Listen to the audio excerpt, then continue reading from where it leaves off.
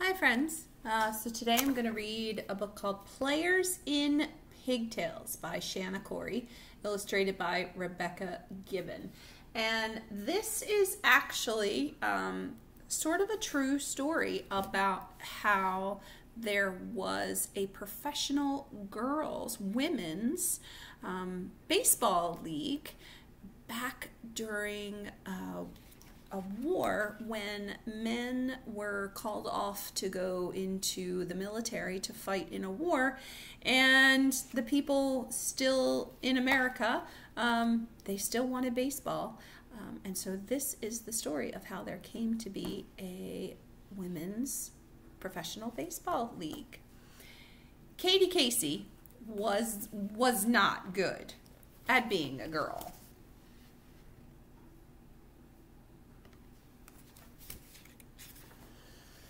At least not the kind of girl everyone thought she should be. Her clothing was crumpled, her knitting was nodding, knotted, and her dancing was a disaster.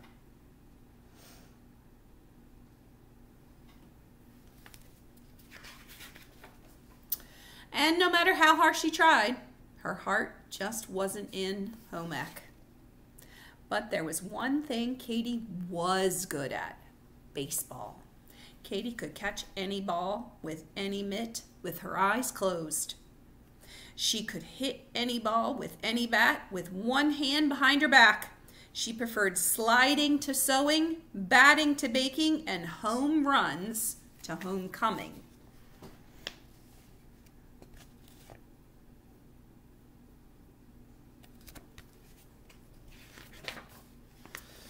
Her parents were not at all pleased.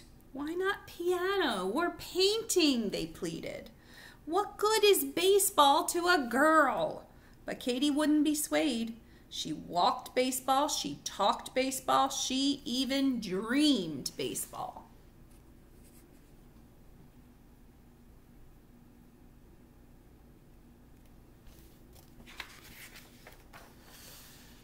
She went to the ballpark every chance she got. She loved the hot dogs and peanuts. She loved the shouting and singing, but most of all, she loved watching the professional players play ball. Sometimes she even imagined that she was one of them.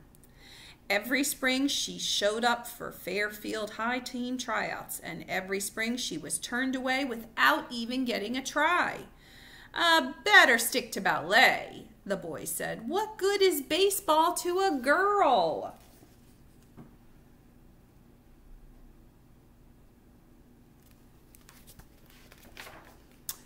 But baseball was starting to change. America was at war, and more and more of the country's boys, including the professional baseball players, were going off to fight. The fields were almost empty, and the fans were getting frantic. Even President Roosevelt was worried. What was a country without a national pastime?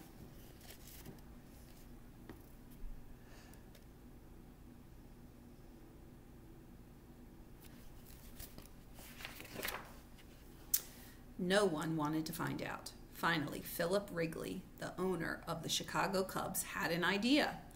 If women can work in factories and even join the army, he said, why can't they play ball? Outrageous, everyone said. Girls playing baseball? No one will pay to see girls play ball. But Mr. Wrigley didn't listen. He sent out 30 scouts to find players for his league the first and only girls professional baseball league. The scouts searched high and low, near and far, and to be perfectly frank, they were flabbergasted by what they found.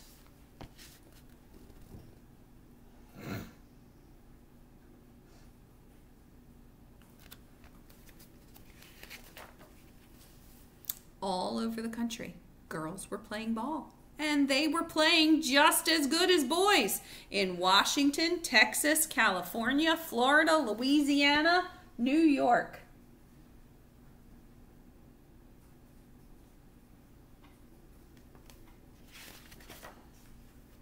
One of them was Katie Casey. Say, sister, said a scout when he saw her curveball, how'd you like to go to Chicago to try out for a real team would she? Katie didn't even have to think twice. She went straight home and packed her bags, kissed her parents goodbye, and boarded the very next train.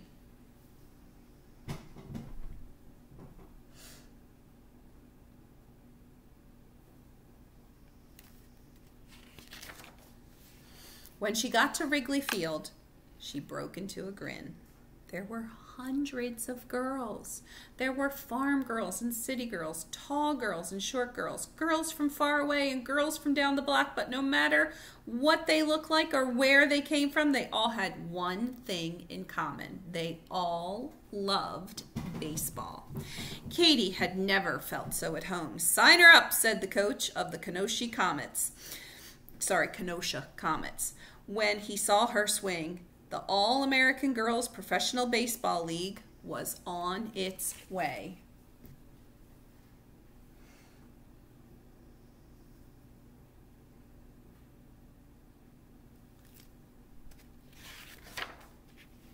Everyone was curious about the strange happenings at Wrigley Field. Unheard of, said one concerned citizen. Girls don't like sports.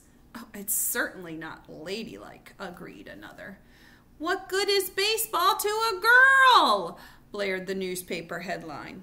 The league managers heard the talk and their stomachs started to twitch. They knew their girls were ready to play ball, but maybe the country wasn't quite ready for their girls.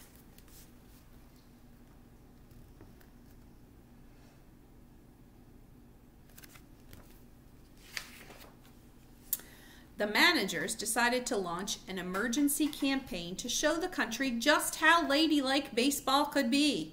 First, they designed special uniforms for the girls to wear. Dresses? asked Katie, but she shrugged and put one on. After all, at least she was getting to play ball. Then the manager signed the teams up for charm school. Pinkies out, girls. Posture, cried the teacher. Think swans. Finally, it was time for the big test. The girls were graceful, they were elegant, they were perfectly charming, and they were ready to play ball.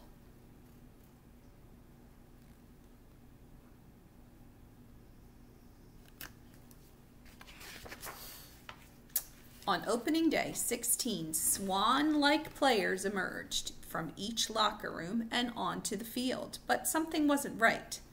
Katie heard a giggling in the stands. It grew louder and louder. Careful, you might break a nail, girls, someone shouted. Players in pigtails, roared the crowd. Is this a ballpark or a ballroom? Everyone laughed themselves silly until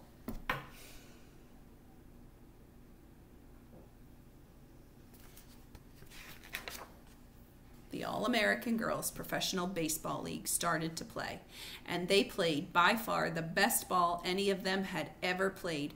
By the bottom of the ninth, the score was Rockford Peaches 9, Kenosha Comets 6. The bases were loaded, and Katie Casey was at the bat for the Comets. She stepped up to the plate and looked out at the stands. She'd been waiting her whole life for this. The pitcher threw the ball, and Katie swung crack! The ball sailed up up, up into the air, and Katie took off running.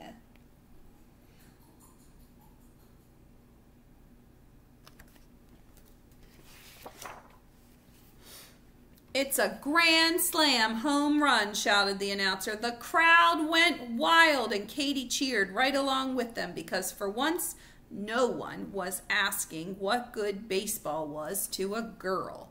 They were all too busy talking about how good girls were for baseball. And that was a long time ago. That was in the 40s when it was World War II. And people had very different ideas about what girls should do and what boys should do and who should do what. And I know that there are lots of girls who like to play sports, and I know there's lots of boys who like to do things like painting and reading and writing. And it doesn't matter. It doesn't matter. I hope you enjoyed the story.